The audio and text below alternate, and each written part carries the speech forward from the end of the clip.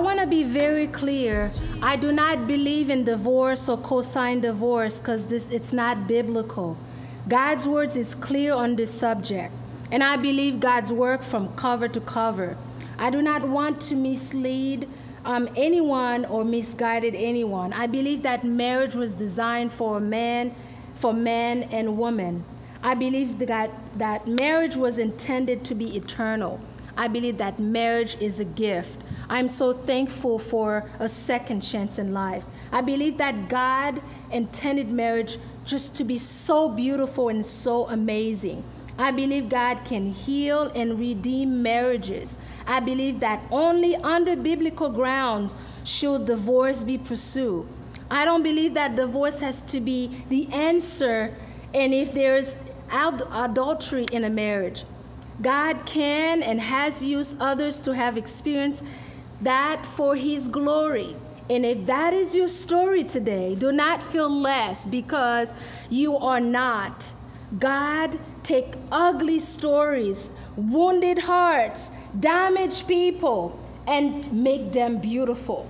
He turned my life around. So if you are in a relationship, you're engaged, you are married, you're divorced, you're separated, you're widow, whatever your situation is today, God is still good. God still loves you. Make him your everything, like I did. I had to really turn myself into God and start spending time with him, start digging in his word. He became my everything because when everybody left me, he was right there with me. His promises are true. You know, in the midst of trials, some, we don't always see God's hands and listening to his voice, but he is there. But the good news is, I didn't always feel God's there, you know, physically with me, but I could always feel his presence near. Even when I had no one there, but I had his peace. See, when prayer becomes your habit, miracles become your lifestyle.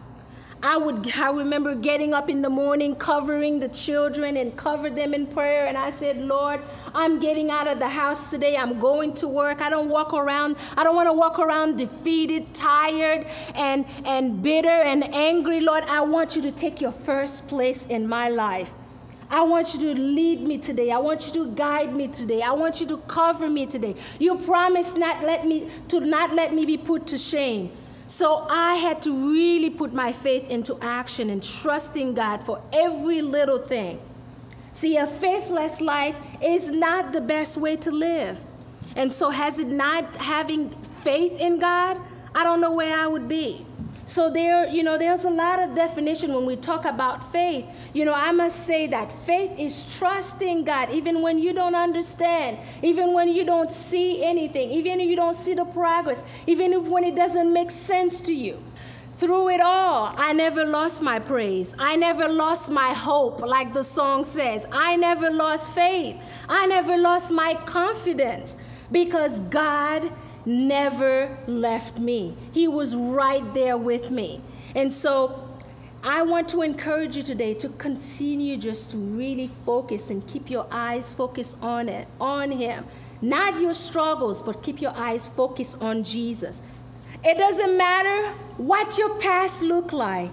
God is bigger. So let me encourage you today just to keep your eyes on Him. God is bigger than your past. He's bigger than your pain. He's bigger than your anger. He's bigger than your fears. He's bigger than your scars. He's bigger than your insecurities. So I want you to trust Him today and make Him your everything.